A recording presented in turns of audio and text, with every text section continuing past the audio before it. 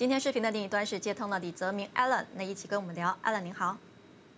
亚兰下午好。我们今天的互动话题啊，就是美股连跌了两天之后，是不是新的一轮跌浪即将要展开呢？我们看到外围方面啊，欧美股市全线来到杀跌，道指跌超过六百点，跌幅将近百分之二。那科技股跌幅更加是显著哈，纳指跌超过百分之二点五，十年债息呢又重建了三厘了。那美元指数再度的一个攀升，突破了一百零九元。那这几天啊，美股下跌这个压力加剧，您觉得这个主要原因是什么呢？跟这个加息预期加剧有？关吗？还是只是这个市场呢，在趁机获利回吐的一个借口呢？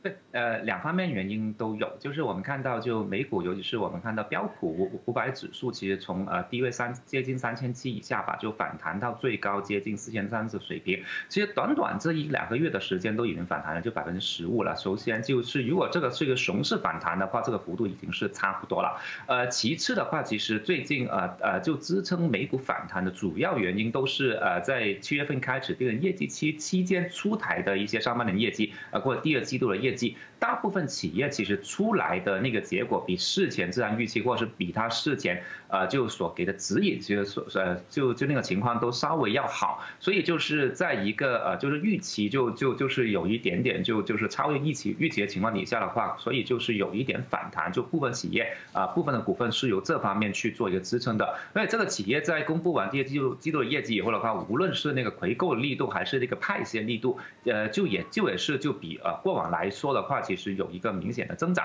这个也能够支撑，就是美股的价值做一个复苏。再加上呃，就经历了就就是上一轮就是七月份那一轮加息以后的话，大家觉得就八月份是一个消息或者是加息面的一个真空期，因为因为八月份就没有那个联储局的开会，所以没有那个呃加息的忧虑，所以八月初的时候就尤其是对于呃这个市场环境有一个短暂的乐观。到现在这个阶段已经去到八月底了。开始面临踏入九月份的话，就大家又在讨论那个加息的预期。由之前大家觉得，哎，好像就加零点七五的那个几率并不大，就大加那个零点五的几率还是会有的。到现在，好像那个加零点七五的那个占比的几呃几率的占比又提升到超越百分之五十的水平，所以又引起大家对于大呃加息的忧呃忧虑。另外一个引发加息的忧虑，可能就跟欧洲那边的呃上游的那个能源价格，无论是燃气也好，煤炭也好。又创出了那个几十年来的历史新高，所以导致大家觉得，呃，就欧洲那边的通胀应该都是高居不下的，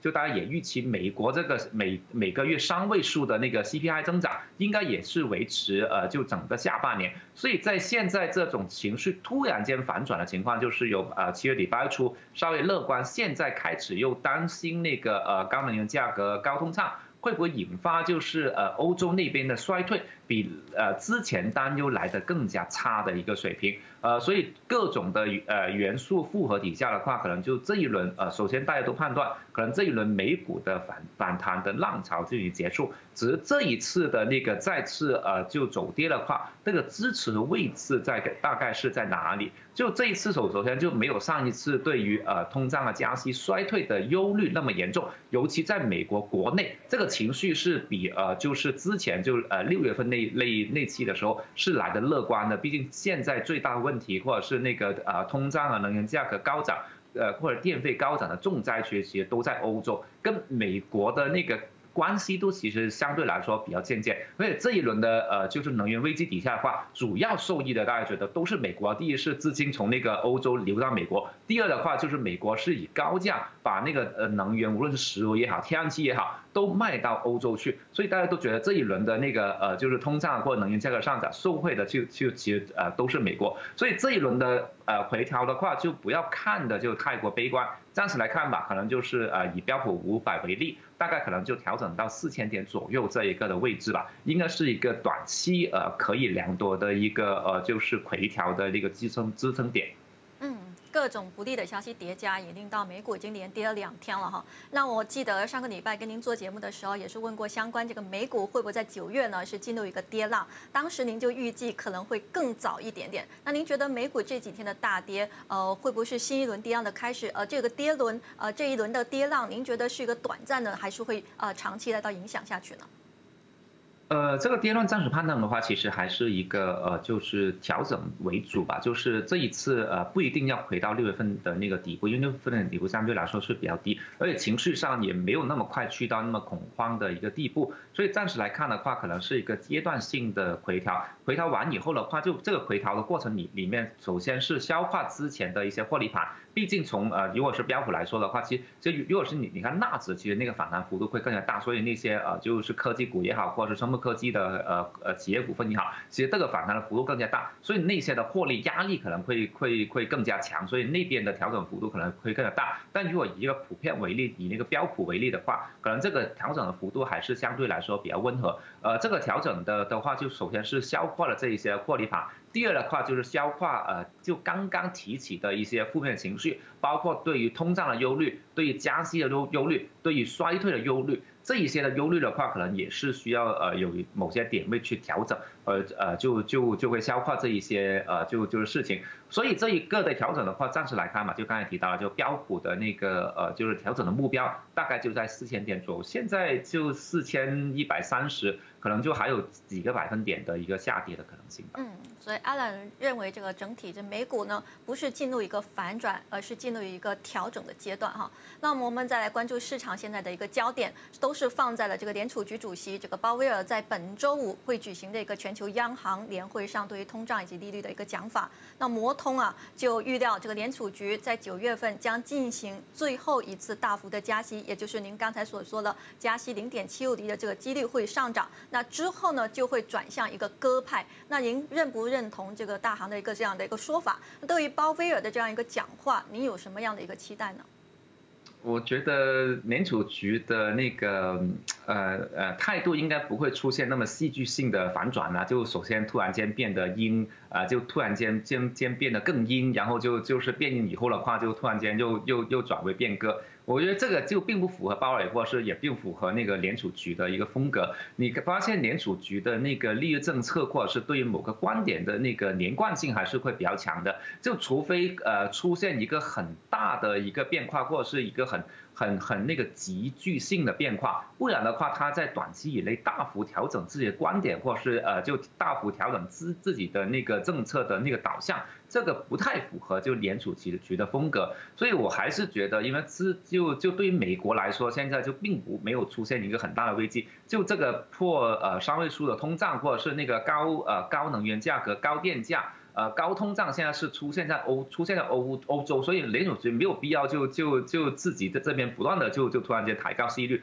去压制呃，就欧就欧就欧就欧洲英国那边的通胀，所以我觉得这这个并不符合，就是他们就以那个呃就美国国内经济为优先这这方面的那个处事的风格。所以现在来说吧，就美国的那个通胀应该大家都觉得六六月份那个九点一应该是一个呃顶部了，就七月份那个就回落到那个八点六，呃呃就八月份的话。呃，大概吧，就有可能也是八点六或者以以下啊，所以八呃都是八点五或者就以下的一个水平，应该出现一个在呃就是破几华或者是更高的通胀的几率并不是太大，所以联储局在九月份那次的呃就议息会议没有必要就就是那么积极，突然间呃就又加那个零点七五，因为之前他们提到其实最大几率其实还是加零加那个零点五嘛，就除非呃就是九月初公布的那个 CPI 会呃就让人太过惊讶或者太。吓人不不然这这样的话，我觉得这这个呃就改变短期改变几率不大。另一方面吧，就是呃它我觉得它不会突然间呃变得更阴，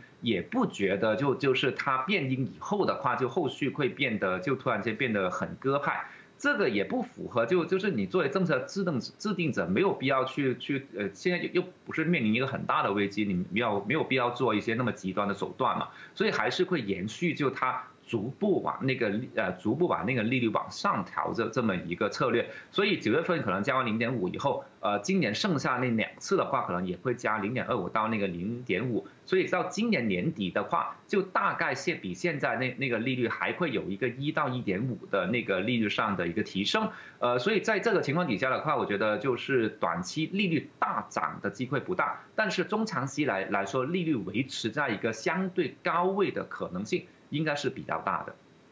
刚才您提到一个点，就是美股这一轮的回调呢，和，其中一个原因就是这个能源价格哈有一个大震荡。我们来看回这个原油市场方面了哈，油价一度是跌超过百分之四，那纽约汽油盘中是低见过每桶八十六点二八美金，布兰特汽油盘中是一度低见过每桶九十二点三六美元。大跌过后呢，沙特突然就放风，就是说 OPEC 呢是有可能在任意时间以各种形式来到减产，令到这个油价才稍微缓和了下来。但是这个天然气的价格啊，则是创下了十四年来最高的一个收盘价。特别是您刚才提到的欧洲能源这个危机呢，是持续的一个上涨。那欧洲天然气呢是飙升了两成以上，德国电价是突破了七百欧元的一个大关。那您认为这会不会跟这俄乌冲突再度升级有关？呢？那能源危机会不会有可能再度的一个爆发呢？那我们应该来到怎么样来到防范这个风险呢？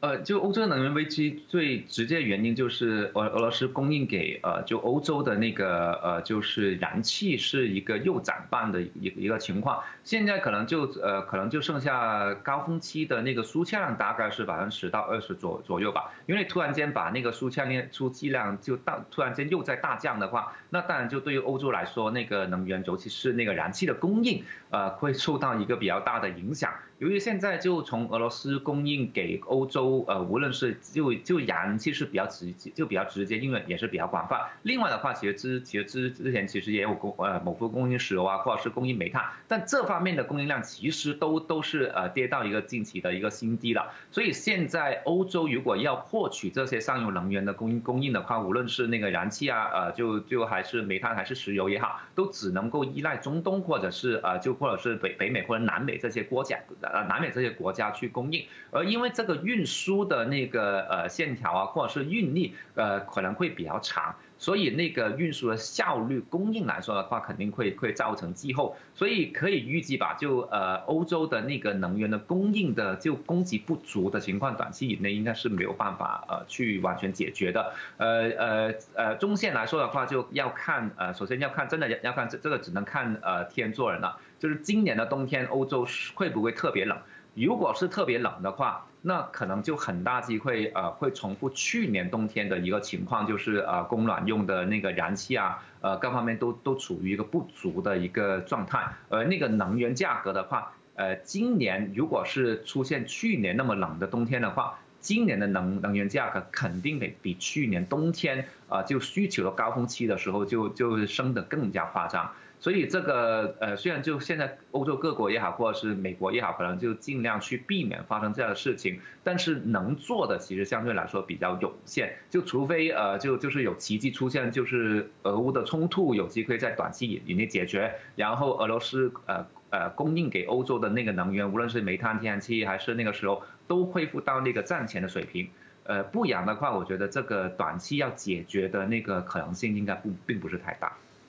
所以，我们还是要密切留意一下欧洲这个高通胀问题。如果不能持续的解决的话，会如何影响这个全球股市的一个走向？哈，那我们看到这个外围持续的一个调整，再加上这个商品市场的一个动荡，那会不会冲击到 A 股以及港股这一边厢呢？那恒指早盘呢有一个低开低走，之前呢被认为比较大的一个支持位是在一万九千六百点，也今天也是跌破了。目前呢是报在一万九千四百六十五点，下跌一百九十一点，那跌幅呢是接近百分之一。那担不担心强美元之下呢，有个资金继续来到出逃呢，对于港股造成一定的估压。恒指下市今年初的一个低位大概是一万八千四百一十五点的这样机会大不大呢？呃，暂时来说就不一定呃要看的那么悲观，就是先看那个五月初的那个低位，就一万九千一左右这个位置，这个应该是一个短期的一个支持位，也是对于一些长线投资者来说的话，就可能就不不呃就部署呃仓货啊，或者是呃部呃部署抄底的一个点位。呃，至于现在呃欧洲面临那么严峻的那个情况，其实对我们影响是有影是是有影响，就影响肯肯就肯定会有的，就因为呃环球能环球能源价格的话，环球能源价格都会因为这个原因而有有所提高，所以对于内地来说的话，其实呃就工业生产啊各方面的那个成本其实有就就肯定是有所增加，但是呃就可能内地啊或者是香港也好，面临相呃同的相似的问题的情况，应该是没有欧洲来的那么严重，因为我们看到就在内地能源的价格相对来说还是温和，或者相对欧洲来说的话，还是一个可以接受的一个水平。虽然就在呃现有高通胀的情况底下的话，就是生产的成本啊各方面都会受压，但是这个应该也是可以管控的水平。所以对呃就。呃，就我们股市的影响当然是负面，但是这个负面应该不会导致一个很大型或者是一个趋势性的悲观的情绪扩散。呃，所以我们这一次暂时来看吧，就是那个支持位在一万九千一，啊，五月初这个低位，呃，大概是这个点位。嗯，好的，对于后市不用太悲观，呃，不要看到年初了哈，我们看到五月初的这样一个点位是一万九千一百点这样一个水平。好，这一节先跟 Allen 聊到这，我们广告过后回来再跟 Allen 一起聊。